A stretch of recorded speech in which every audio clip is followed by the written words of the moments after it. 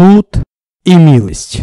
Вторая книга Паралипоменон, 36 глава с 11 по 23 стих.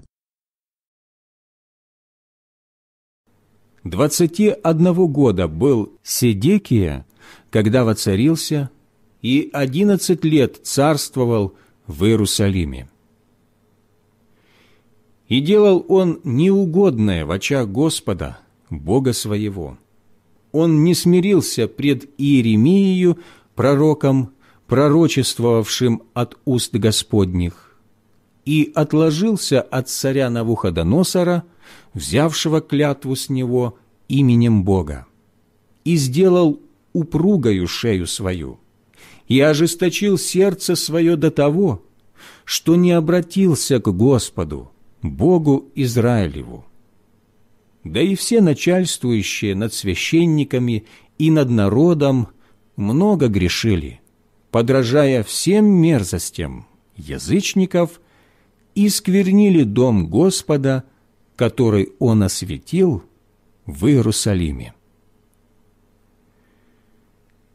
И посылал к ним Господь, Бог отцов их, посланников своих, от раннего утра, потому что он жалел свой народ и свое жилище.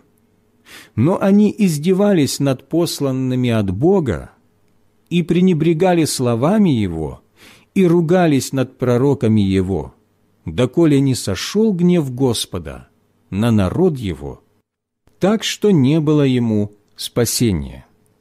И Он навел на них царя Халдейского – и тот умертвил юношей их мечом в доме святыни их, и не пощадил ни юноши, ни девицы, ни старца, ни седовласова. Все предал Бог в руку его. И все сосуды Дома Божия, большие и малые, и сокровища Дома Господня, и сокровища царя и князей его, все принес он в Вавилон и сожгли Дом Божий, и разрушили стену Иерусалима, и все чертоги его сожгли огнем, и все драгоценности его истребили. И переселил он оставшихся от меча в Вавилон, и были они рабами его, и сыновей его, до воцарения царя Персидского. Доколе во исполнение слова Господня сказанного устами Иеремии, земля не отпраздновала суббот своих. Во все дни запустения она субботствовала до исполнения семидесяти лет.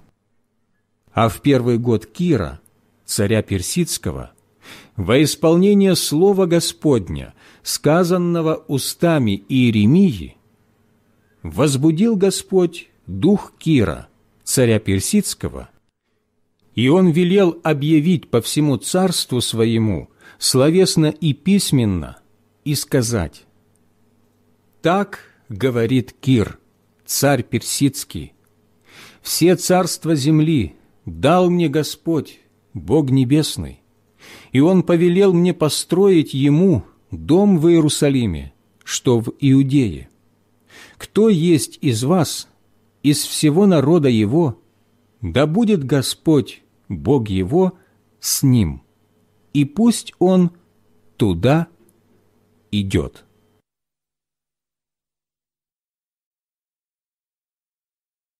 Размышления, часть первая.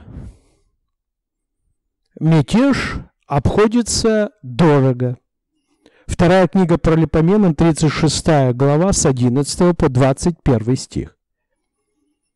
Сидекия – последний царь иудейский. Его правление характеризуется гордыней и мятежом против Господа. Неверны все – и начальствующие, священники, и простой народ Иудеи.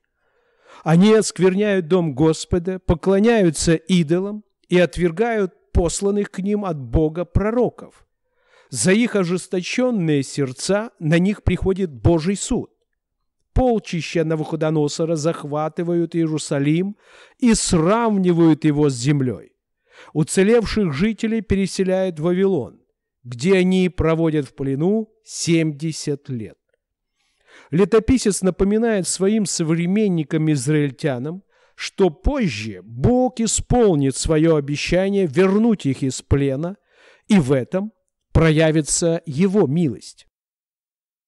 Ведь даже когда мы пожинаем последствия собственного греха, Бог все равно любит нас и не бросает. Пусть это наполнит нас не гордостью, но еще большим смирением перед Богом. Когда вам приходилось переживать Божий суд за грех и непокорность? В каком состоянии находится сейчас ваше сердце? Размышление, часть вторая. Бог восстановления. Вторая книга Паралипоменон, 36 глава, с 22 по 23 стих. В конце второй книги Паральпоменон звучит надежда. Автор повествует о возвышении персидского царя Кира. Бог во исполнение пророчества Иеремии возбуждает его помочь восстановить родную землю иудеев. Кир утверждает, что Господь, который есть Бог Небесный, повелел ему объявить сие словесно и письменно. Темное прошлое тает в свете милости Бога к своему народу. Царь Кир обещает помочь восстановить дом Господень и воодушевляет людей восстановить отношения с Богом.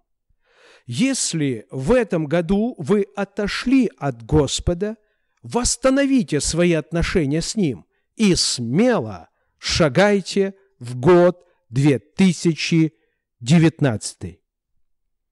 Случалось ли, что Бог оказывал вам милость после того, как вы полностью отпадали от Него? Как нам не потерять надежду даже в самых тяжелых обстоятельствах?